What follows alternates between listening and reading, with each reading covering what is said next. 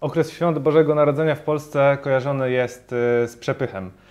W sportowym, sprawnym marketingu też wyszliśmy z tego założenia i zrobiliśmy odcinek na bogato, bo dziś nie jeden, a dwóch gości na naszej kanapie.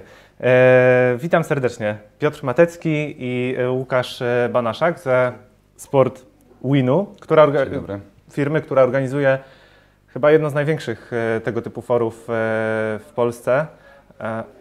To jest audycja na żywo, więc czasem zdarzają się takie rzeczy, na przykład nie wyłączenie telefonu, o tym warto pamiętać. W każdym razie, e, Sport Win organizuje SportBiz, e, czyli jedną z takich największych e, konferencji łączących sport, biznes i, marketing w Polsce.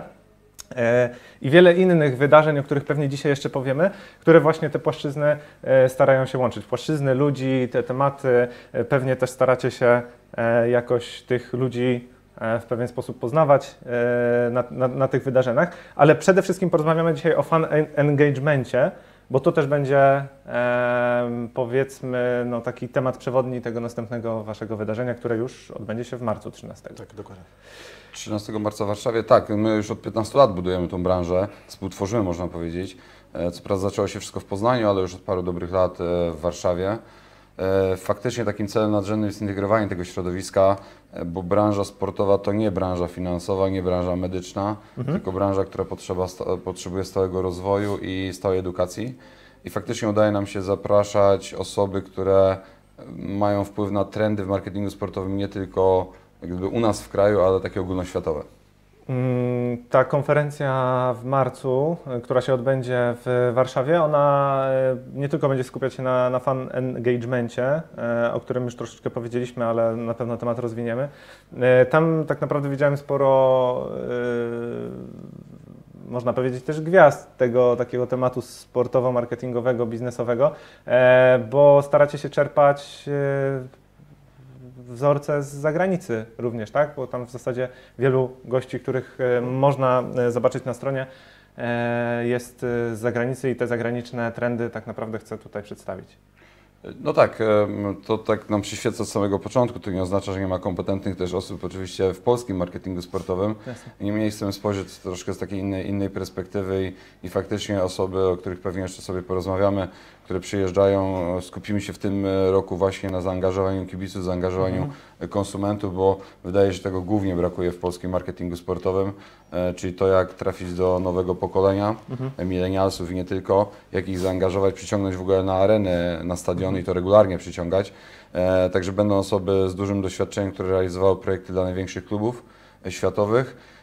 Bardzo dużą część poświęcimy na wykorzystanie baz danych i przetwarzanie tych baz danych, co nie w pełni jest wykorzystywane przez e, polskie kluby sportowe. Na co dzień możemy to śledzić tak od strony takiej doradczej, konsultingowej, która nasza agencja też świadczy E, i wydaje się, że to jest taki potencjał niewykorzystany, który może wpłynąć później na budowanie długotrwałych relacji właśnie z konsumentem i, i z kibicem. Także faktycznie taki top, e, top speakerów, e, ale mo, mogę powiedzieć tak gdzieś może troszkę promując za, za 10% wartości konferencji takich światowych. Także staramy się tutaj i znaleźć sponsorów i zaangażować, żeby tych ludzi jak najbardziej angażować e, w, w rozwój swojej wiedzy. e, Bo, no bo to jest tak, że, że ona też, e, że te trendy się zmieniają i co widać po rozwoju marketingu polskich produktów sportowych, naprawdę jest jeszcze wiele do zrobienia. Mhm. Jeśli chodzi o to zaangażowanie kibica, zaangażowanie konsumenta, to jest w ogóle fajne, bo często jak mamy mm, e, rozmowy w ramach sportowego spra- sprawnego marketingu, zdajemy sobie sprawę, że za każdym razem dochodzimy do wniosku, że ten kibic jest tak naprawdę klientem niesamowicie wymagającym, bo działającym jednak e, w, no w tym obszarze sportu, gdzie emocje wchodzą, takie emocje, których pewnie zazwyczaj na rynku względem produktów typowych nie ma, e, więc bardzo wymagający rynek. Jeśli chodzi o to zaangażowanie fanów w różne działania klubu, jak to wygląda teraz e, w Polsce? Jeżeli mieli- mielibyście teraz postawić taką diagnozę, czy jest jeszcze dużo do zrobienia, czy my dopiero tak naprawdę w ten fan engagement wchodzimy e, jako, jako polski, polska branża sportowa? To znaczy, ja może na początek bym zidentyfikował problemy, które mamy, e, uważam, jeśli chodzi o organizacje sportowe i, i relacje, budowanie z, z kibicem. E, nie do końca e, tworzy się segmenty i wybiera się odpowiednie grupy docelowe. Zapomina się często o pokoleniu, kto wie, czy nie zapomnieliśmy o jednym, budując obiekty sportowe i stadiony, czy nie zapomnieliśmy o pokoleniu, które które nie jest łatwe, nie jest, nie jest łatwe do ściągnięcia na, na trybuny. Różnie to się nazywa pokolenie X, Y, milenialski i brakuje tego typu działań, angażujących e, chociażby w nowe technologie, e, wykorzystujących media społecznościowe, ale nie tylko poprzez wrzucenie, wrzu- wrzucenie e, posta, ale właśnie e, budowanie reakcji, interakcji e, z kibicami. E, To jest, wydaje mi się, podstawowy, podstawowy problem. To znaczy nie dzieli się klientów, wszystkich traktuje się tak samo. E, Czyli tego kibica bardziej zaangażowanego, który na co dzień pewnie e, krzyczy w odpowiednim sektorze, z kibicem, matką, z dzieckiem, który, które ma się właśnie pojawić na stadionie. Będzie właśnie e, Będą prelegenci, którzy to Łukasz pewnie więcej powie, którzy będą mówili o tym, jak tworzyć projekty dotyczące angażowania całych rodzin. E, My często patrzymy z perspektywy takiej bardzo kibicowskiej, bo wielu z nas jest kibiców i zobaczymy jakieś tam e, zadymę na trybunie, coś tam racę, jedną, drugą racę, ktoś tam wybiegnie na, na boisko i wydaje mi się, że to jest e, normalne. Natomiast pamiętajmy o tym, że po drugiej stronie jednak śledzą to i oglądają rodzice, którzy na co dzień będą podejmowali decyzje, którzy mają wiele form rozrywki do wyboru dla dziecka. Te czasy się zmieniły, że jedną z niewielu form, że tak powiem, em, atrakcji takiej popołudniowej, weekendowej były mecze, mecze koszykarskie, piłkarskie. I tutaj wydaje mi się, że to jest podstawowy problem e, zarządzających klubami sportowymi, że e, musi dojść, e, ja to nazywam może, nie wiem, czy takie profesjonalne podejście, a trochę takiej McDonaldizacji obiektów sportowych. To znaczy musimy się otworzyć na, na rodziny, na, na nowych konsumentów, a nie tylko wsłuchiwać się w głos często bardzo wąskiej grupy, nie generującej też dodatkowych przychodów, czyli która stanowi często 5%, może 7% w takiej ogólnej strukturze kibicowskiej klubu. I wydaje mi się, że jak od tego wyjdziemy, to powstaje wiele projektów dotyczących zaangażowania, czy jak się zmieni ten sposób myślenia zarządzających klubami sportowymi, no to wtedy będzie i związkami sportowymi, bo to również tego dotyczy, to wtedy będzie łatwiej budować wszelkiego rodzaju projekty, akcje angażujące kibiców. My tu mówimy o zaangażowaniu młodych, a nie zapomnijmy o tym, że no nasze pokolenie się starzeje. E, Także kwestia powrotu kibiców, którzy chodzili, nie wiem, w latach 80., 90., e, a też taki odpływ, to wynika nawet z badań, zauważa się, em, tworzenie jakiegoś modelu projektów właśnie senioralnych, to też jest moim zdaniem e, przyszłość, a przecież do tych ludzi musimy dotrzeć w zupełnie inny sposób. Nie każdy, kto ogląda e, tego live'a, powiedzmy, zna się na sporcie na tyle, ile, ile wy panowie. E, Czy moglibyśmy tak trochę chociaż prostymi słowami zdefiniować, zdefiniować to zaangażowanie kibiców? No bo wiemy, że no, kluby są obecne i w mediach społecznościowych i coraz bardziej rozwijają się marketingowo, ale jaki projekt, powiedzmy, można by było nazwać e, projektem e, z zakresu właśnie zaangażowania fanów czy fan engagementu? Myślę, że może Łukasz powie parę słów o, o prelegentach, którzy właśnie realizowali kilka projektów, którzy będą nimi się, że tak powiem, chwalili podczas, podczas właśnie Sportbizu. Tak? E, tak, właśnie podczas naszej konferencji 13 marca wystąpi e, prelegent Mark Bradley, który e, był odpowiedzialny właśnie za wdrożenie takiej strategii familijnej, czyli zachęcenie rodzin całych do przychodzenia na stadiony. E, no tutaj na przestrzeni ostatnich kilkunastu lat e, wdrażał tą strategię, która pozwoliła przyciągnąć e, całe rodziny na stadiony, gdzie dla nich ten jakby element sportowy jest drugorzędny. Bardziej liczy się właśnie ta e, to zaangażowanie, ten, te emocje, które są na stadionie. No i właśnie on na przestrzeni tych kilkunastu lat wdrażał tą strategię, i która pozwoliła zwiększyć o kilkanaście procent frekwencję na stadionach. E, no kolejnym prelegentem będzie e, tutaj Jeff Wilson, który e, pokaże model zachowania konsumenta nie tylko na stadionie, ale też poza nim, bo tak naprawdę podczas wydarzeń sportowych, e, czy to na stadionach, obiektach sportowych, e, tutaj osoby e, przechodzą te emocje, ale też poza nim, czyli tutaj jak dotrzeć do tych osób, które nie są na stadionie, nie, tych emocji nie przeżywają na żywo, ale też właśnie jak dotrzeć do tych osób, które gdzieś poza stadionem interesują się tym wydarzeniem, no i chcą też poczuć te emocje. Na przykład też w Stanach fajnym przykładem jest e, tutaj klub koszykarski, który sprzedaje bilety tylko na samą strefę taką cateringową, żeby ludzie poczuli te emocje, nie są na, obecni na stadionie, ale czują tą emocję takiego meczu. Więc to jest też fajny przykład takiego, gdzie no w Polsce powiedzmy może to by e, na przestrzeni kilkunastu lat e, sprawiło, że frekwencja na stadionach e, wzrosłaby. E, no właśnie w Stanach wprowadzili ten element, że można przyjść do takiej powiedzmy strefy bufetowej, cateringowej i tam właśnie z kibicami, swoimi e, wiernymi fanami przeżywać te emocje, które są e, na stadionie. Ale chociaż jest tam jakiś telewizor? gdzie tak, tak, tak, wszystko jest jakby... Czyli nie e, widzi się wszystko jest- boiska. nie widzi się boiska, ale czuje się te emocje, bo Aha. też kibice e, skandują tutaj, e, emocje są takie właśnie, jeżeli na przykład w ostatniej minucie pada, pada rzut, który decyduje Mhm. o zwycięstwie, no to wtedy ci kibice wszyscy się jednoczą, no i też to wpływa gdzieś tam powiedzmy na ten fan engagement. No to jest jakaś rzeczywistość, do której będziemy pewnie dążyć, ale ona jest jeszcze lata przed, e, przed nami. Ja na przykład widziałem taką e, e, sytuację ze stadionem Borussii Dortmund chyba sprzed tygodnia, gdzie klub zaprosił kibiców do śpiewania kolęd. To było pięknie opakowane oczywiście, natomiast tam wypełniono tak naprawdę cały stadion, cały stadion, a tam chyba wchodzi 80 tysięcy ludzi z tego co pamiętam.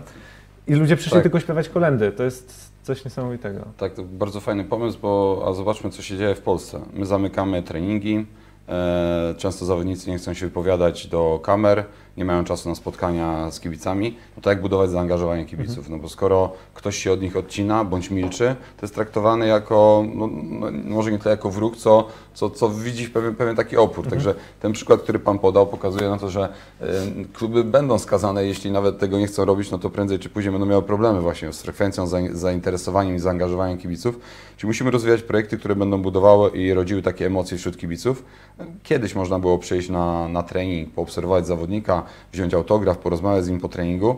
No w tej chwili to jest bardzo utrudnione, bo taktyka, bo, bo, bo, bo, pewne tajemnice, natomiast wydaje mi się, że to musi właśnie się, e, się zmienić. Na, na pytanie, e, jak mierzyć, no oczywiście naj- najprostszym elementem jest pewnie sprzedaż produktu w różnej formie, tak? czy sprzedaż merchandisingu, czyli gadżetów, zaangażowanie w mediach społecznościowych, oczywiście frekwencja na, na trybunach, oglądalność, oglądalność meczów, natomiast to się, to się buduje, buduje latami. Mam wrażenie takie, że my jesteśmy na etapie nadal w wielu przypadkach, chociaż wiele ciekawych projektów, o których Pan też wspomniał, więc tak wszystkich bym nie wrzucał do jednego worka, natomiast my jesteśmy nadal na etapie takiej promocyjnej, to znaczy u nas budowanie lojalności w klubie sportowym rozumieć przez to, że zrobimy tańszy karnet. E, Natomiast nie dokładać dodatkowych elementów w stylu e, poprzez to, że będziesz regularnie uczestniczył w meczach, będziesz miał możliwość właśnie wyjątkowego śpiewania kolęd z, z zawodnikami, bądź nawet zagrania z nimi w mecze. Coraz e, częściej więcej takich projektów jest, tylko to musi się dziać dzień w dzień. To mo- moim zdaniem to powinno być zaplanowane dzień w dzień, jakie, jakieś dodatkowe elementy, które zaangażują, zaciekawią tego, tego kibica. Weźmy też pod uwagę zmiany, zmiany zachowań konsumenckich, więc mierząc za- zaangażowanie e, młodych kibiców, a widzimy, że coraz więcej klubów e, i, w końcu można powiedzieć stawia na to młode pokolenie licealistów, gimnazjalistów, no oni jednak spędzają nawet podczas meczu, będąc na stadionie, w Anglii są takie badania, że nawet do połowy meczu piłkarskiego są w stanie spędzić w, w, te, w telefonie. E, U nas takie badania jeszcze nie spotkałem się, przynajmniej jeśli chodzi o, o branżę sportową. Natomiast co to, co, co to nam daje? Jak gdyby kolejny kierunek myślenia, jak angażować? No, musimy być w trakcie meczu, mm, tak jak chociażby podczas dzisiejszej relacji, e, pewnie w wielu mediach społecznościowych, które są do nich, e, do nich kierowane. Przykład Ligi Australijskiej, bardzo ciekawy do, do wdrożenia 1 do 1 e, e, w Polsce, to mm, zachęcenie w ogóle do kibicowania, do wybrania swojej marki. Mamy problem taki, że jak pewnie wyszlibyśmy na ulicę i spytali 8-9-latka, komu kibicuje, to jestem niemalże przekonany, może jest to moje subiektywne e, odczucie, że, że są to kibice Realu Madryt, Barcelony, Messiego, Ronaldo, e, gwiazd światowych. Nie ma takiego związku e, z konkretną marką polską. Nie mówiąc o środowiskach mniejszych miejscowości. Tam to w ogóle takie utożsamianie się z lokalnym klubem jest jeszcze na pewniejszym poziomie. W Australii wyznaczono jednego małego kibica, Joshua, on chyba miał na imię, jeździł po wszystkich klubach. Mieli, były do tego relacje, e, relacje w telewizji ogó- ogólnokrajowej i kluby przekonywały go, dlaczego ma, ma się stać kibicem tego, a nie innego klubu, dlaczego ma wybrać tą markę, a nie inną. Także bardzo ciekawy projekt, który, który się mega sprawdził i z, do, doszło do wzrostu właśnie e, jak gdyby baz danych w tych klubach o chyba kilkadziesiąt procent i frekwencja również wzrosła na, na stadionach, a przede wszystkim wpłynęło to docelowo na właśnie sprzedaż tych produktów, które tutaj chociażby leżą, czyli, czyli gadżetów w takich klubach. E, Paweł e, skomentował kilka, kilka kwestii. Dziękujemy Tobie, Pawle, za komentarze. W ogóle wszystkich zachęcamy do tego, żeby zadawali pytania w komentarzach, a przynajmniej się z nami przywitali, napisali, co u nich słychać, e, bądź e, komu, e, komu kibicują, bądź jeżeli, słyszeli jakieś, e, jeżeli słyszeliście jakieś ciekawe, e, o, o jakichś ciekawych e, e, tego typu projektach w klubach, którym kibicujecie, bądź ze swojego lokalnego e, otoczenia, to po prostu dajcie znać. Chętnie to e, omówimy. Paweł, bardzo dziękujemy Tobie za e, komentarze. Paweł, dziękuję za to, że dotykamy właśnie tego tematu. E, Wspomniał, że ten klub to Gold, Golden State Warriors, ten, Mhm, e, ten klub z NBA, o którym mówiliśmy, i zapytał o metody badawcze, ale to już po części odpowiedziałeś, mi się wydaje. Natomiast Znaczy, Ale jak mogę tylko, bo faktycznie bardzo dobre pytanie, bo generalnie rynek badań marketingowych w sporcie moim zdaniem praktycznie nie funkcjonuje. To znaczy mamy pomiary, e, monitoring mediów, e, badanie wartości medialnej, która porządkuje ten rynek jakby sponsoringu. Natomiast od strony konsumenckiej mamy pewne analizy, natomiast no nie są to badania, które byłyby robione regularnie, w sposób profesjonalny, dotykałyby problemów wzrostu frekwencji, rotacji na trybunach. Jeden z klubów ekstraklasowych e, chwali się tym, że ma 50% rotację na trybunach. No, podczas me- mecz do meczu. To dla mnie to jest właśnie wręcz porażka takiego klubu, że nie potrafi zatrzymać tych, e, tych kibiców na trybunach i zaangażować, tak? Czyli tutaj pewne dane są, bo pewne dane wynikają również, jak miałby się odnosić skąd te badania i te, i te dane czerpać, to systemów ticketingowych klubu.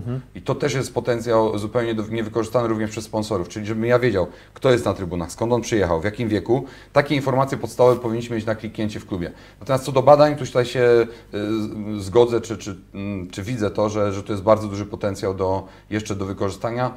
To też nie jest jakaś filozofia zrobić badania w tym, y, y, w obecnych czasach, tak? Y, y, Wypuszczenie tylko profesjonalnych ankiet, badania jakościowe, które można przeprowadzać w klubach, y, to jest moim zdaniem taka podstawa, która powinna się rozwinąć. Znaczy, no, chociażby warto spojrzeć na, e, e, na po- powiedzmy dem- demografię i geografię e, kibica. No, dokładnie. E, my akurat jesteśmy, e, studio mamy w Poznaniu, więc e, też można e, tutaj odnieść się do tego przykładu lokalnego, że faktycznie większość kibiców jest spoza Poznania. E, Także klub sprzedając czy organizując dzień, dzień meczowy powinien wziąć pod uwagę to, że część ludzi już jest po długiej drodze, że, że musi gdzieś e, zjeść, e, że chciałoby się gdzieś ogrzać, tak? Mając taką wiedzę, może mm, przygotować ofertę, na przykład taką ofertę powiedzmy gastronomiczną dla takiego kibica na miejscu. To dotyka kolejnego problemu, dwóch problemów, jeśli mogę się też wtrącić, to kwestia analizy kosztów. E, Okazuje się, że patrzymy tylko przez pryzmat kibica koszty tego dojazdu, biletu, może cateringu. Natomiast mówmy się, że to są koszty również zmęczenia, wysiłku psychofizycznego, bo ten kibic musi iść nast- następnego dnia do, do pracy. No za, na zachodzie w klubach analizuje się wiele czynników, e, kwestie Tak. przyjazdu, wyjazdu. Jak dotykamy tutaj przykładu poznańskiego, to też wiem, że jest duża, duży, fajny segment kibiców, którzy jeżdżą tylko na wyjazdy. Bo, bo czasami mają nawet e, do niektórych miejscowości i bliżej, i szybciej, i sprawniej, i, i są lepsze terminy.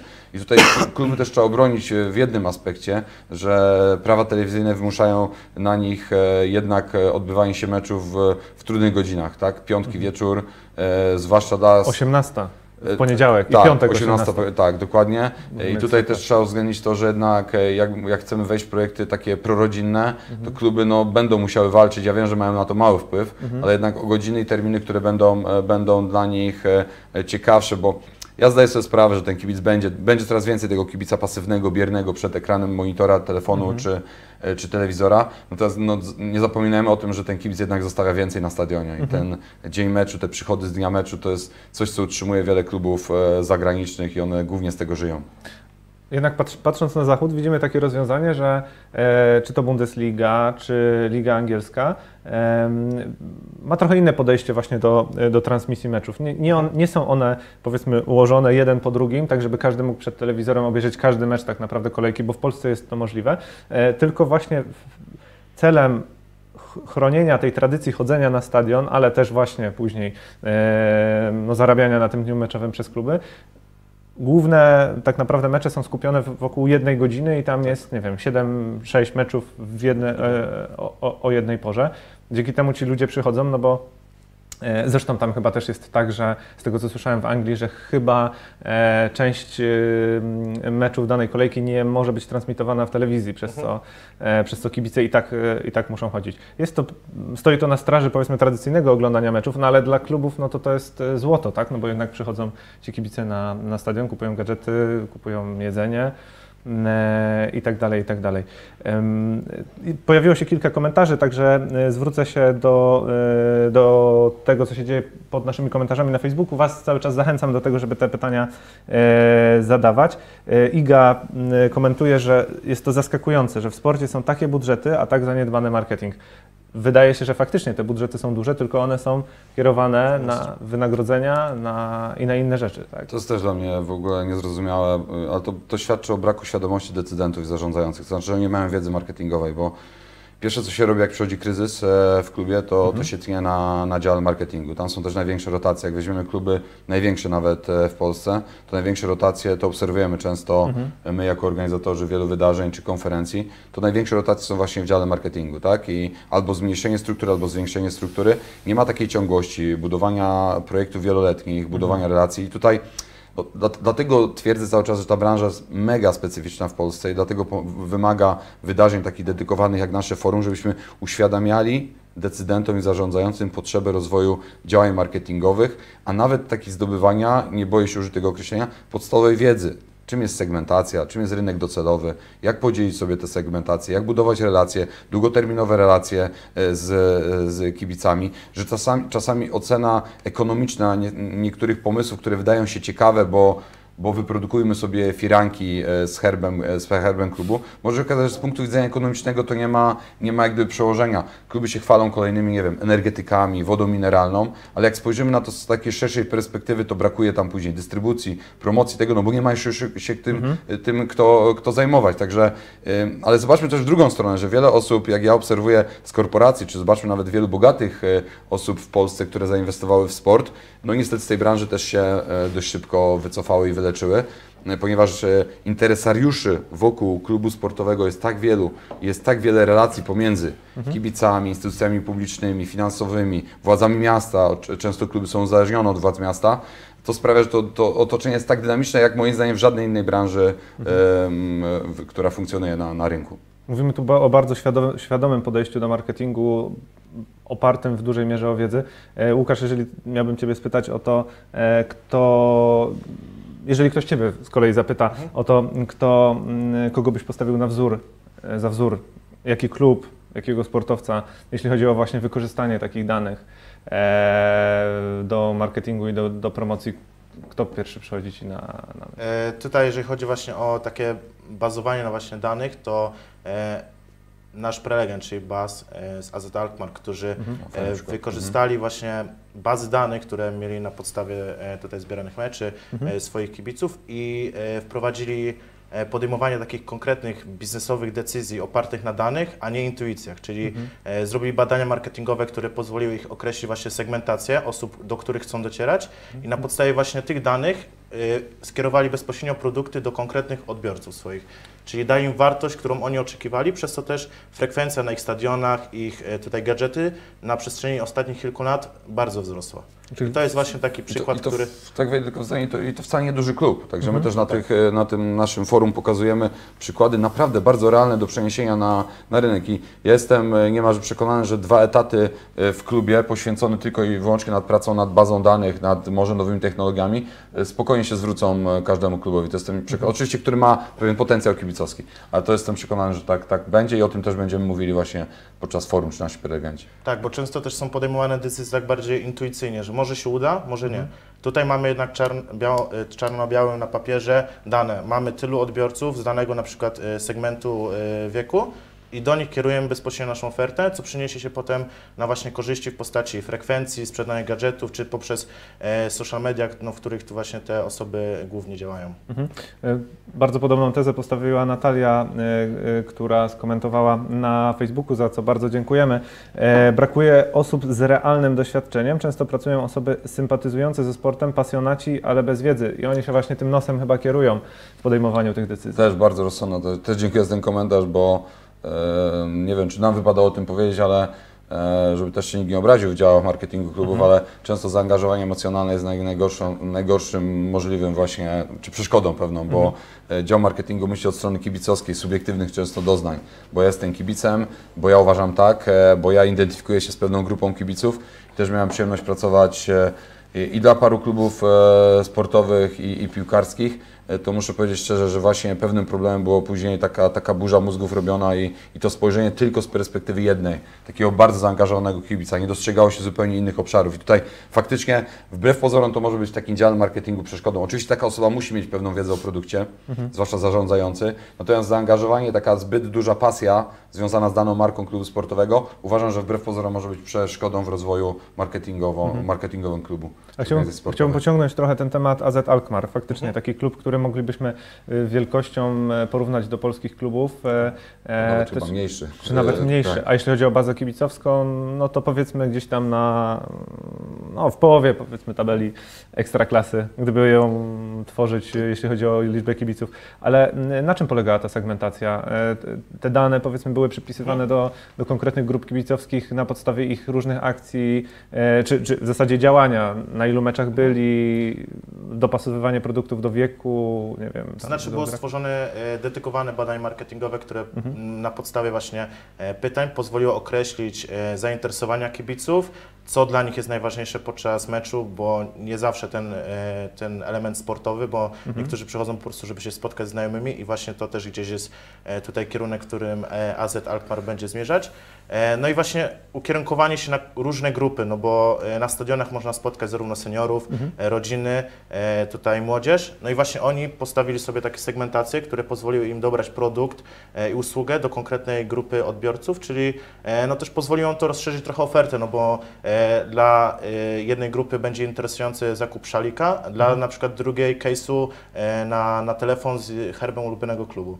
I gdzieś tutaj w tym kierunku właśnie AZ Alkmaar idzie. Tak, czyli e, generalnie ch- chodziło o to, że na początek e, robimy sobie, mm, wybieramy sobie segmenty, następnie określamy e, grupy docelowe, szerokość tych rynków i wybieramy te dla nas najbardziej, najbardziej kluczowe, a do tego dostosujemy narzędzia. No i tu poszła też e, cała sfera narzędzi takich informatycznych do zarządzania bazami danych, czyli też informacje z dnia meczu, o której godzinie kibic przychodzi, ile zostawia e, pieniędzy na stadionie e, w dniu meczu. Wtedy możemy to porównywać, czy faktycznie ten segment, który wybraliśmy, czy ten kanał komunikacji był skuteczny, tak?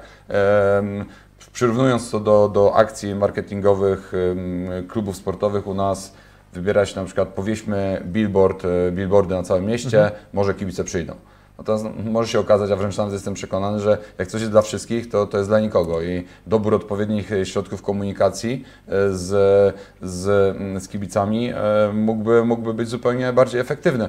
Ja mogę podać taki przykład z Polski, gdzie dużo mówi się teraz w ostatnich e, dniach o Wiśle Kraków, ale bardzo ciekawa działalność marketingowa tego klubu, który, która zaprosiła na trybuny influencera, prowadzącego blog, e, teraz wyleciało mi nazwisko, ale okazało się, że znaczna część e, kibiców, tych młodych, przyszła głównie dla niego na mecz. To jest w ogóle fenomen. Nie do pomyślenia, że autograf, który chcieli po meczu, nie chcieli od piłkarza, tylko chcieli od tego influencera, który w tym momencie jest bardzo popularny, ma duży wpływ na świadomość 15-16-latków, e, bo zauważmy, że kluby sportowe będą miały coraz trudniej, dlatego one będą musiały ze zdwojoną siłą rozwijać działania marketingowe, bo młode pokolenie, jeśli, jeśli chcą oczywiście młode pokolenie, może któryś klub kierunkować się na segment starszych osób, chociaż podejrzewam, że tak nie będzie, bo trzeba budować tą, tą wielopokoleniowość, ale, ale e, kluby sportowe tu też pokazują trendy, e, trendy światowe. E, no młodzież szuka czegoś wyjątkowego, nietypowego, niestandardowego, nawet kontrowersyjnego, prawda?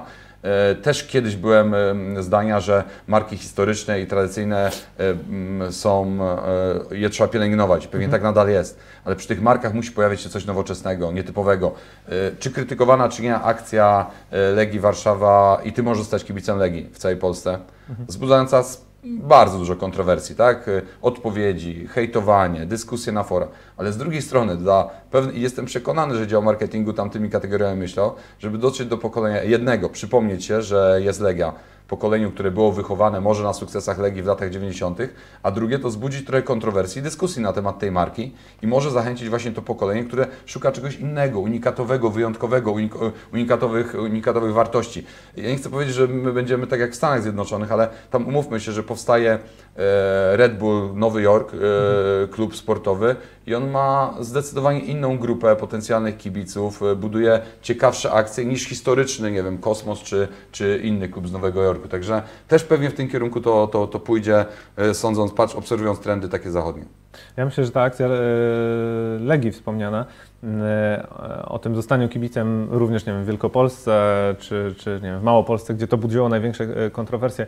Mi się wydaje, że to wynikało też e, z z dodatkowej świadomości tego klubu odnośnie tego, jak to zareaguje, bo myślę, że to nie chodziło o to, żeby pozyskać tego fana z Wielkopolski czy z, czy z Oczywiście, Małopolski, to- to- tylko to bardzo zaimponowało, to podejście bardzo zaimponowało tym kibicom, którzy są na Mazowszu. E, oni po prostu to docenili i powiedzieli sobie, przyjdę, bo, bo, bo, bo klub pokazał, że po prostu... Tak, ale zobaczmy też z drugiej strony, już tego kibica nie musimy mieć wcale w Warszawie. Tak? E, Raz, że komunikacja się bardzo zmieniła, e, dwa, że są środowiska, które gdzieś tam wychowały się na sukcesach Widzewa kiedyś, może w latach 80. Lecha Poznań, jeśli mówimy tutaj o piłce nożnej i, i też często do pokolenia tego albo ich dzieci nawet można, można w ten sposób e, dotrzeć. Natomiast no, wyróżniliśmy się, pokazali, odświeżyliśmy, odświeżyliśmy się, e, czy- odświeżyła się mark, jako marka poprzez tego typu akcje i, i coś, co wzbudza trochę kontrowersji jest, e, jest e, zasadne, tak?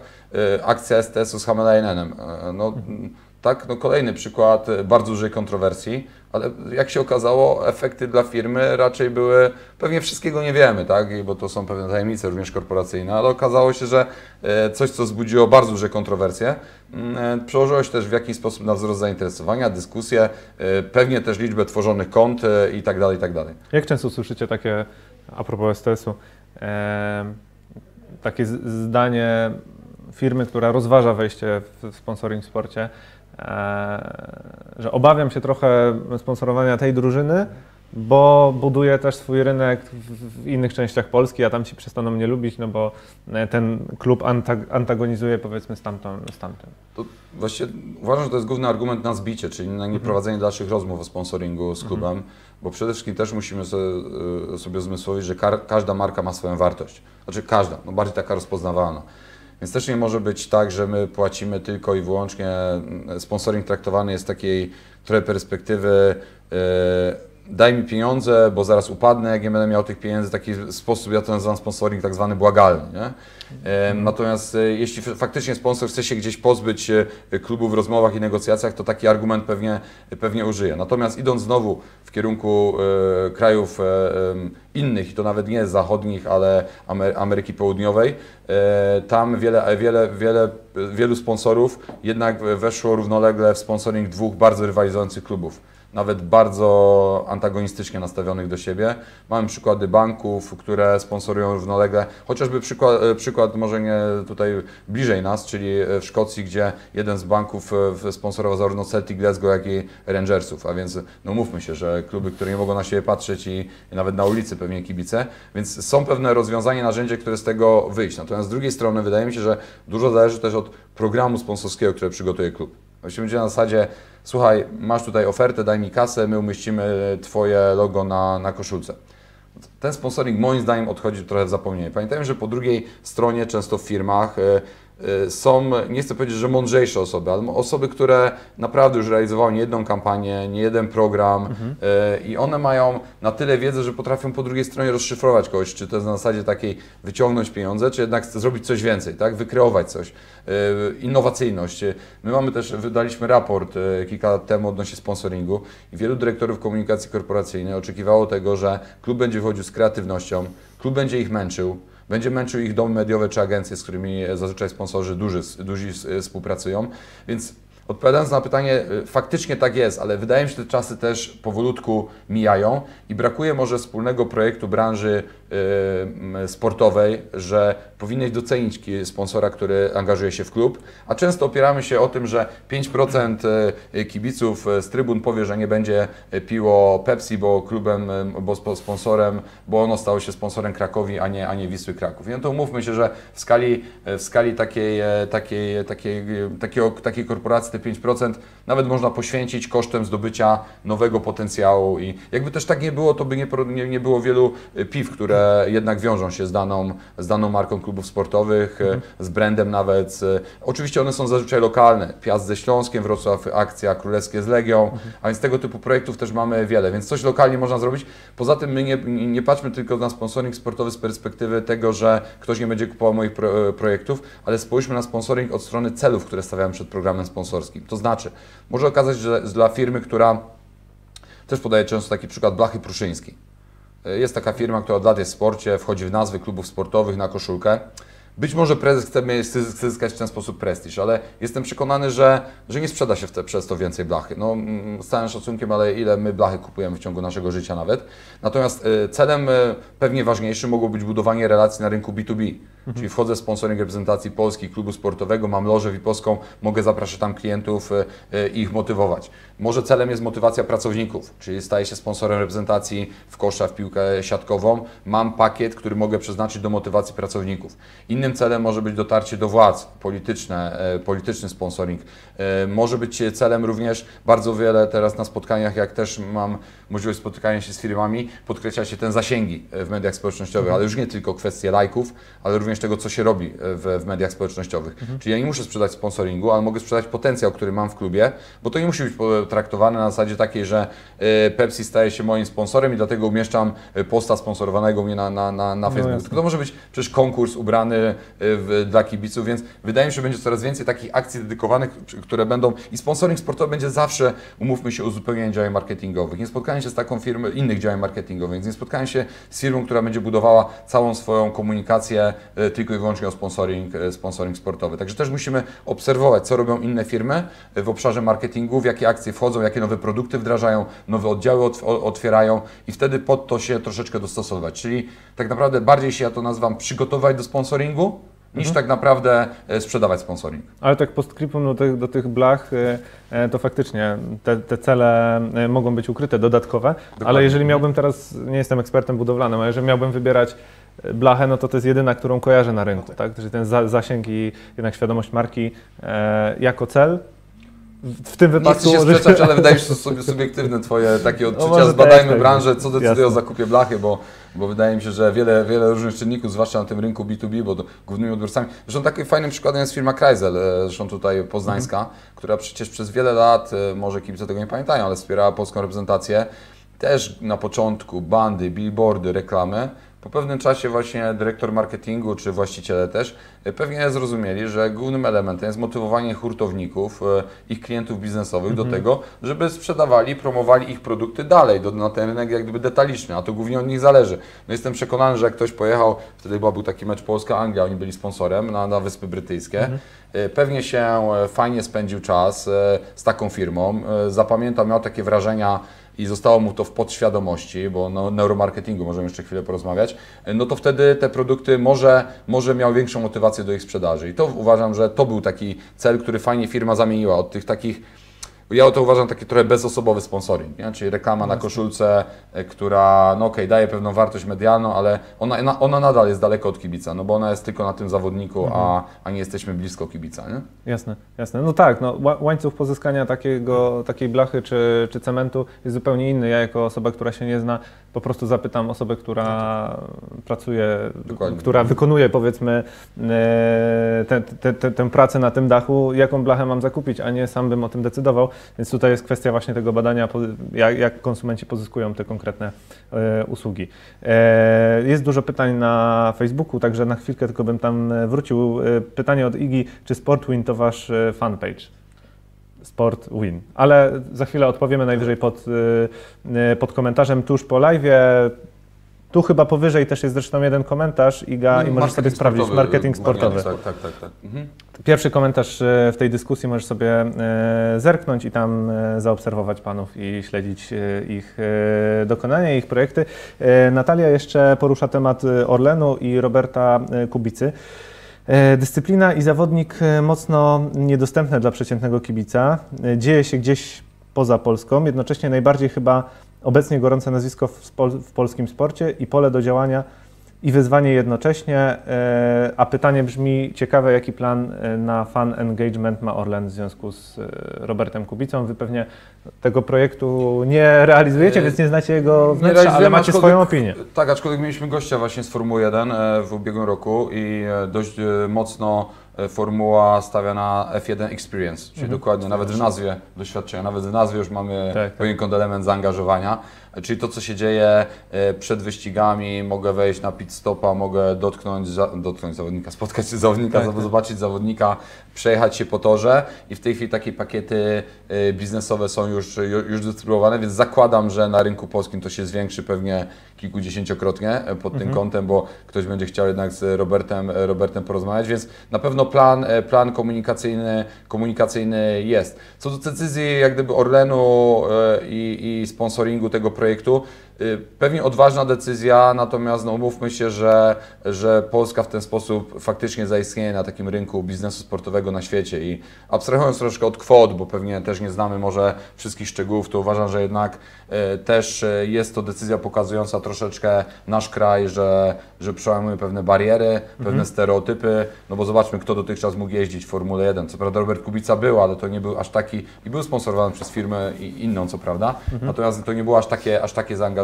Tak? W tej chwili pokazujemy jako, jako naród polski, jako kraj, że jesteśmy e, silni, silni również gospodarczo, więc umówmy się, że takie cele e, też mogą przyświecać e, spółce, spółce Skarbu Państwa, która zdobywa również rynki nie tylko polskie, ale o tym też trzeba, trzeba, trzeba wiedzieć. Tak? Natomiast ym, jedynym problemem w przypadku Formuły, jedynym, bardzo ważnym w przypadku Formuły 1 jest jednak ta bliskość znowu zawodnika, więc my musimy raczej do niego pojechać, bo za, umówmy się, że Robert Kubica w Polsce to może jest na święta i może jeszcze raz, jak, jak, jak, jak, jak przyjedzie, więc nie ma go tutaj na miejscu. I to, jest, to blokuje wiele działań. Ja pamiętam jeszcze jak Robert jeździł w, w Renault, w teamie wcześniej, to faktycznie zorganizowanie jakiejkolwiek akcji przez Renault w Polsce było bardzo trudne, no ale też taki sprytny marketing trochę było, że u wielu dealerów można było zobaczyć bolid, w którym je- jeździł, to znaczy jakąś tam, może nie tę atrapę, co, co, e, czy symulatory nawet były, tak, że ktoś mógł poczuć, że faktycznie to Renault jest związane e, z Robertem, Robertem Kubicą, ale, ale generalnie to jedynie może, może budzić jakieś, e, jakieś tutaj problemy. Niemniej no, podejrzewam, że, że, że będzie dużo różnego rodzaju projektów e, z Robertem tutaj, na pewno wizerunkowo, no Oren wykorzysta to na tak jak wykorzystuje, wykorzystuje innych sportowców do motywowania klientów, że tak powiem, do, do zakupu i do pewnie e, przekonywania, że ta benzyna jest i olej jest lepszy niż, niż gdzie indziej. Wróćmy na chwilę do samej konferencji. Poza fan engagement em, wchodzicie w tematy, widziałem też, że są e, prelekcje dotyczące e-sportu, tam też są pieniądze, tam też jest sponsoring, tam też jest marketing. E, O czym jeszcze będziecie rozmawiać, tak żeby trochę przybliżyć może naszym widzom obecnym? Mhm. Jakby głównym tematem całej konferencji jest fan engagement, aczkolwiek będziemy starali się pokazać z różnych perspektyw ten fan engagement, czyli zarówno PR-owo, marketingowo, sponsoringowo, jak i tutaj też e, właśnie jakie korzyści mogą sponsorzy osiągnąć poprzez zbudowanie więzi z konsumentem. E, tutaj kolejnym e, blokiem będzie zaangażowanie mieszkańców w miastach, bo tutaj marketing sportowy w miastach też jest wykorzystywany i jest e, coraz częściej stawiany jako ten główny punkt w promocji i komunikacji całego miasta czy też regionu. E, No i mm, blok ostatni, nowe trendy. Tu też chcemy pokazać właśnie e-sport, e, przed którym stoi dosyć spore wyzwanie, mm, jeżeli chodzi o cały czas e, wzrost aktywności w Polsce, no bo było wielkie boom na e-sport w Polsce. Teraz już te osoby, które są zainteresowane są w tym e-sporcie, ale żeby przyciągnąć kolejne osoby, które gdzieś w tej branży będą aktywne, no to trzeba też tą wartość dodaną dać. Więc też chcemy pokazać ten e-sport jako właśnie mm, proces budowania zaangażowania z odbiorcą e, w sporcie. E, Kolejnym e, wystąpieniem będzie też potencjał sportów niszowych, bo to też jest e, duży, duże pole do wykorzystania. Często właśnie e, sporty niszowe mają bardzo lojalnych klientów, którzy przez całe życie naprawdę są z tą marką, czy też e, z tą dyscypliną sportową, więc też chcemy pokazać ten e, potencjał sportów niszowych. E, no i sportowiec jako marka, bo to też w Polsce nie do końca jest wykorzystywane. E, może gdzieś te największe gwiazdy sportu wykorzystują to, natomiast lokalni właśnie sportowcy, tak jak Piotr tu e, wspominał, nie do końca wykorzystują swój potencjał marketingowy w dotarciu do, do swoich fanów, no bo oni mają bezpośredni kontakt z nimi, czyli chcemy pokazać, że sportowiec może być też marką, która jest potenc- potencjalnie interesująca dla sponsorów, partnerów różnego rodzaju, więc e, w tym aspekcie też chcemy pokazać ten potencjał. E, No i sport dziecięcy, co tutaj e, Piotr akurat będzie mógł trochę więcej powiedzieć.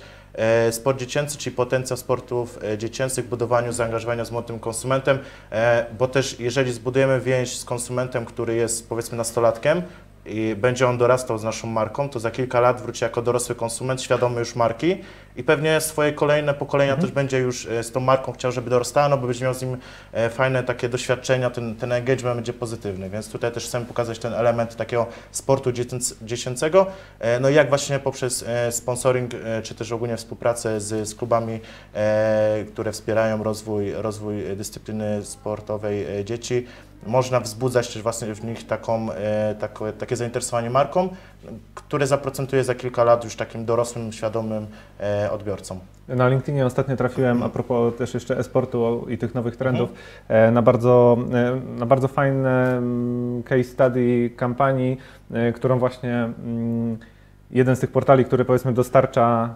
jedzenie, wykorzystał, wiedząc, badając grupę Mhm. ludzi, którzy grają i którzy przede wszystkim śledzą innych, którzy grają na Twitchu, czyli takiej platformie, Tak. gdzie tych Tak, sportowców można obserwować, e, że gdzieś tam około 10, 11 oni zazwyczaj zamawiają pizzę, jakiekolwiek jedzenie. Oczywiście jest to jedzenie takie, które można gdzieś tam sobie zamówić. Big data właśnie, to zarządzanie daną. Dokładnie, daną. oni stwierdzili, po co mamy, nie wiem, reklamy na Facebooku, na Instagramie emitować o, o tej porze, jeżeli ci ludzie, którzy będą zamawiać masowo No tak. o 11, o czy tam 23, 24, gdzie w zasadzie ludzie, którzy no nie wiem, może nie, nie są aż tak mocno w, w tej branży sportowej powią- z tą branżą sportową powiązani, czy w ogóle nie grają, zazwyczaj albo śpią, albo, e, albo nie są po prostu aktywni, no ale oni wtedy właśnie prowadzili kampanię e, z jakimiś tam lokalnymi restauracjami właśnie do zamówienia e, jedzenia. Świetnie wykorzystane dane, widać, że świetnie wcześniej przeprowadzona analiza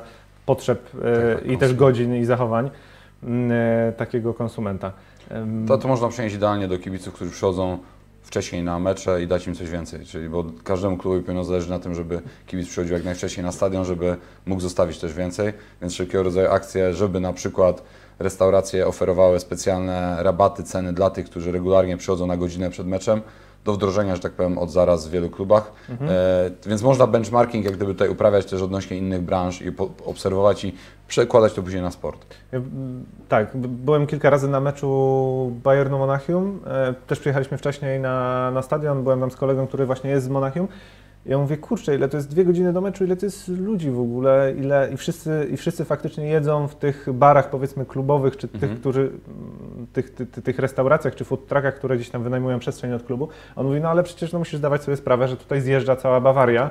Jeśli ludzie muszą gdzieś Tak. zjeść, no to po co mają jeść gdzieś obok, jeżeli mogą zjeść w, w klubie, powiedzmy. Tak, tak, tak. No, świe- świetna rzecz do zastosowania e, od zaraz. Po- Powiedzmy, nie, nie, nie wiem, jak to organizacyjnie jest do zorganizowania w klubach, ale z punktu widzenia wydania pieniędzy w klubie i bezpośredniego przełożenia dnia meczowego na wynik klubu, no Znaczy, to u nas mówi się, że nie ma takiej kultury, bo kulturę trzeba pracować, nad kulturą e, kibicowską trzeba pracować e, latami, ale no, ktoś musi to zacząć robić, żeby może za 10 lat faktycznie było tak, że, że na godzinę przed meczem będzie już połowa stadionu a, i, i można różnego rodzaju dedykowane też akcje, akcje realizować. Ale to wydaje mi się, że jeszcze, jeszcze sporo czasu przed Mhm. nami i projektów różnych.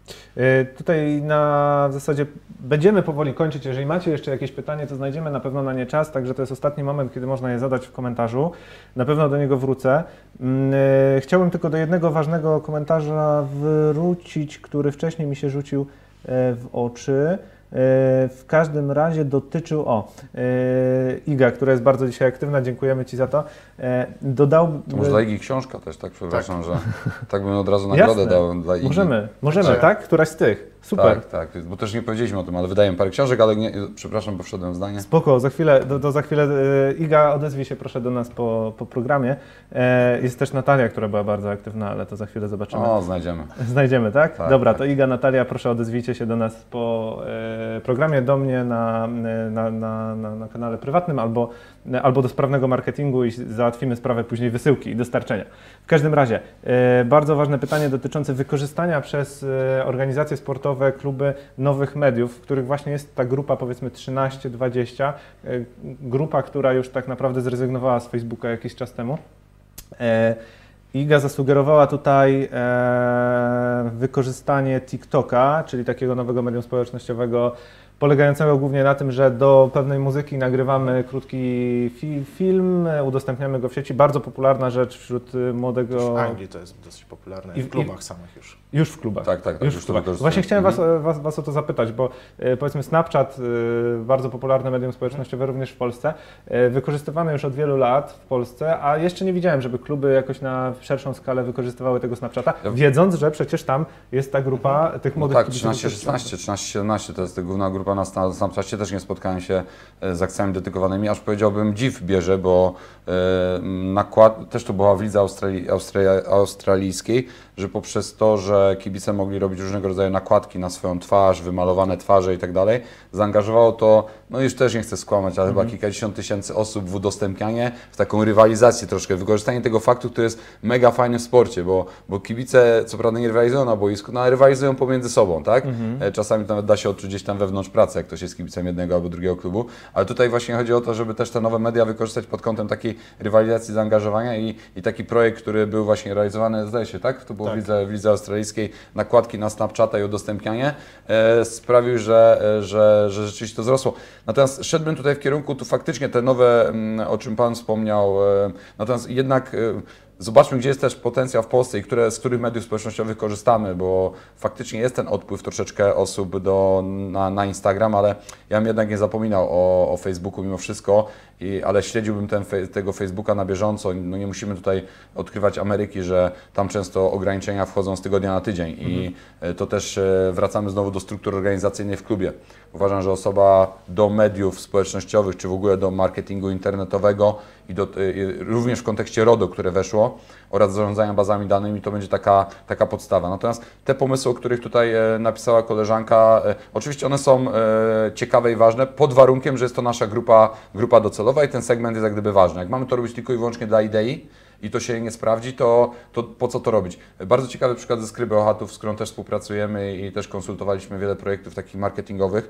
Bardzo ciekawy przykład w ogóle, jakbym miał pisać gdzieś tam książkę o marketingu sportowym, takim w ujęciu Europy i chwalić się pewnymi rzeczami, które robią w Polsce, to Skryby Ochatów ma nietypową grupę, bo ma Bełchatów i okolice, ale ma bardzo dużo kibiców e, w Mazowieckim, w Warszawie, tam gdzie teraz Oniko zaczyna działać bardzo, bardzo dynamicznie oraz w Łodzi. Dlaczego w Łodzi? No bo rozgrywa niektóre mecze, e, mecze mm, e, Ligi, Ligi Mistrzów czy, czy, czy w, w europejskich puarach.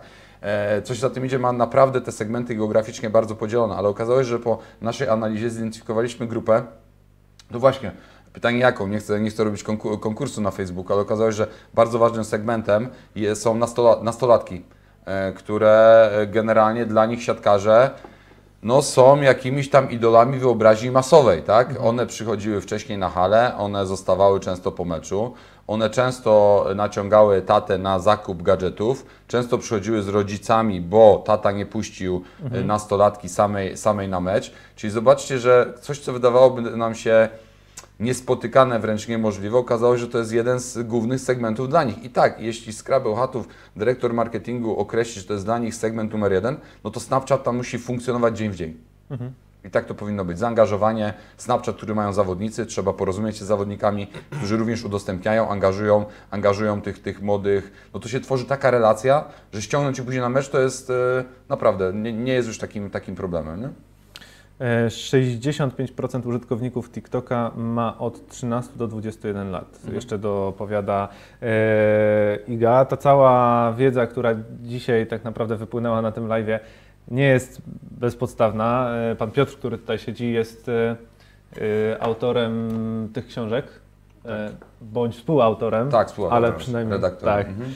W każdym, razie, w każdym razie w tych książkach jest o wiele więcej wiedzy. Jeżeli moglibyście po programie w komentarzu tylko napisać jakieś namiary na te książki, jeżeli, jeżeli byłby ktoś e, zainteresowany. Też jeśli nadzieję, ktoś że- zainteresowany publikacją artykułu, bo my się nie zamykamy, to jest zbiór artykułów takich bardzo praktycznych, więc wymiar naukowy tej książki jest, bo ona jest recenzowana przez naukowcę, naukowca, natomiast generalnie każdy, kto ma doświadczenia, pisał pracę magisterską, licencjacką, może się podzielić pewną wiedzą praktyczną, również zachodnią, z zachodnich jak projektów, to oczywiście jest możliwość publikacji, tylko nie dosyłania artykułów, Łukasz, do kiedy? E, Myślę, że do końca roku, jeżeli ktoś się jeszcze zdecyduje, to jest szansa. Ewentualnie pierwsze Mamy dni już- stycznia można podesłać, nie? Mamy już powiedzmy grupę, grupę osób, które jest Świetnie. zainteresowanych, aczkolwiek jeżeli będzie jakiś fajny pomysł, no to jesteśmy jak, Bo jak chyba już 10 takich książek wydaliśmy, także też e, pewnie gdzieś tam w bibliotekach uczelnianych też staramy się tych studentów edukować, żeby te książki były dostępne, ale jak ktoś nie ma, to może sugerować e, na swojej uczelni, żeby takie książki po prostu biblioteka nabyła i, i były do, do wykorzystania. Moglibyśmy jeszcze na koniec y, wspomnieć kilka szczegółów o samej konferencji dla tych, których y, powiedzmy dzisiejszy program zainteresował i chcieliby zgłębić y, tę wiedzę bardziej. Okej, także jeżeli chodzi o konferencję, 13 marca Centrum Olimpijskie PKOL, e, cztery bloki tematyczne, e, PR marketing, sponsoring, zarządzanie sportem w mieście, nowe trendy. E, Jeżeli chodzi o kwestię merytoryki, bo tutaj stawiamy jakby sobie to za główny cel, czyli udało nam się faktycznie w tym roku zaangażować top światowe, jeżeli chodzi o, o, o zakres fan engagement. No i wartość dodana, czyli budowanie relacji branżowych. Podczas naszej konferencji faktycznie dużo osób poznaje często kolejne osoby, które pracują w marketingu sportowym, rozmawiają, integrują się, przez to też powstają różnego rodzaju nowe projekty, które gdzieś wpływają pozytywnie na całą branżę. No bo nie oszukujmy się, jeżeli branża będzie zintegrowana, będzie dobrze funkcjonować, no to przyniesie wymierne korzyści całe, całej jakby branży. Tak, Więc- mm, dokładnie. My myśleliśmy, że zresztą Państwo też realizują różne projekty szkoleniowe, konferencyjne. My też mamy Sportbiz Academy, czyli, czyli szkolenia i widzimy od dwóch lat, od trzech lat taką dynamikę rozwoju, chęci zdobywania wiedzy. Powstało wiele kierunków również na uczelniach, menadżer sportu, marketing sportowy i zauważamy też pewne wymuszone przez ministerstwo mm, na związkach sportowych, zwłaszcza potrzeby strategii rozwoju związków sportowych, wymusiło dopływ też nowych osób do związków, także wydaje mi się, że jak mamy upatrywać tutaj też takiej e, pozytywnych e, jakichś elementów, to coraz więcej młodych ludzi kreatywnych w sporcie, tylko ta młodość czasami nie wystarcza, jest potrzebne niestety to doświadczenie, często wyniesione z innych branży, ale bardzo ważne i bardzo, bardzo potrzebne, także natomiast wiadomo, że konferencje można puścić online, ale ja już widzę też po naszym wydarzeniu, Państwo również, bo też spotykacie się przecież e, fizycznie osoby, no nie, nic nie zastąpi budowania relacji e, i takie są też trendy konferencyjne światowe, że ten model się troszeczkę odwraca, tak jak wszystko niby można było pokazać w internecie, tak jednak trzeba się spotkać face to face, e, niektóre elementy, e, niektóre może wynegocjować nawet aspekty. Forum jest takim też miejscem spotkań i negocjacji, e, wielu umów też sponsorskich, też o tym się dowiedzieliśmy niedawno, także też fajnie, bo, bo to pokazuje, że warto było i wpływamy na rozwój, na rozwój polskiej branży. No tym bardziej też, że gdzieś udział samych klubów jest szansą na spotkanie z decyzyjnymi osobami z, w- sponsorów.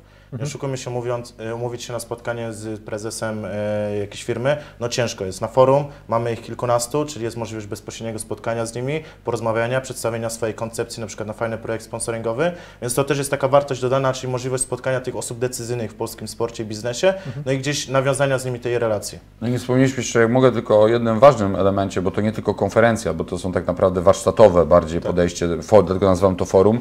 E, też jest e, wymiana jak gdyby wiedzy, ale też wręczamy, wyróżniamy osoby z tej branży już Tak. po raz. 15 jubileuszowa edycja. W tym roku. Tak, wy, wy, wyróżniamy i wręczamy statuetki Demesy, taka nasza inicjatywa. Dość powiedzieć, że na w zachodzie, Wielkiej Brytanii, we Francji tego typu gale są najważniejszymi wydarzeniami w sporcie, bo umówmy się, że sukces sportowy jest ważny i wybranie sportowca roku, natomiast no, za tym ktoś stoi. Stoją związki, media, władze, sponsorzy, firmy, ludzie mediów, bo takich też wyróżniamy, Kampanie czy e, marketingowe. kampanie marketingowe, wykorzystanie mediów społecznościowych. Nagradzamy w kilkunastu kategoriach właśnie osoby, które w branży są. Y, Wydaje mi się, że statuetki zyskały prestiż, bo też są unikatowe, bo nikt w tym, w tym obszarze jak gdyby nie, nie wręcza, także zawsze kończymy y, forum galą sportu i biznesu i, i też y, zachęcamy do y, zgłaszania Przesyłania projektów, bo już można propozycji. zgłaszać propozycje. Nawet jeśli ktoś nie do końca jest związany z firmą, to może przesłać nam swoją sugestię, że na przykład w kampanii marketingowej roku za rok 2018 według niego powinno to i to być uwzględnione. Moglibyśmy pewnie rozmawiać jeszcze godzinę, bo wiedzę macie olbrzymią na ten temat. Tego czasu niestety nie mamy, natomiast jeżeli ktoś ogląda tego live'a z odtworzenia bądź post factum wpadnie na jakieś pytanie, jestem pewien, że jeżeli zada je w komentarzu na Facebooku, YouTubie czy Twitterze, to tę osobę znajdziecie i, i odpowiecie, a ja przynajmniej Was o tym poinformuję. E, bardzo Wam dziękuję za, dzisiejszą, e, za dzisiejsze spotkanie. Będzie można Was spotkać e, w marcu na gali Sport e, Biz, Piotr Matecki Dziękuję bardzo. i Łukasz Banaszak Dziękuję. e, ze Sport Bizu, firmy, o której dzisiaj sporo roz, rozmawialiśmy. Rozmawialiśmy też o fan en- engagemencie. Was też do tego zaangażowania pod e, e, tym live'em cały czas e, zachęcam. Post factum oczywiście potem jak już go zakończymy, on będzie wszędzie dostępny, możecie zadawać nam jeszcze pytania. Dziękujemy, widzimy się całkiem niedługo, bo najprawdopodobniej już za tydzień kolejny sportowy, sprawny marketing. Dzięki jeszcze raz.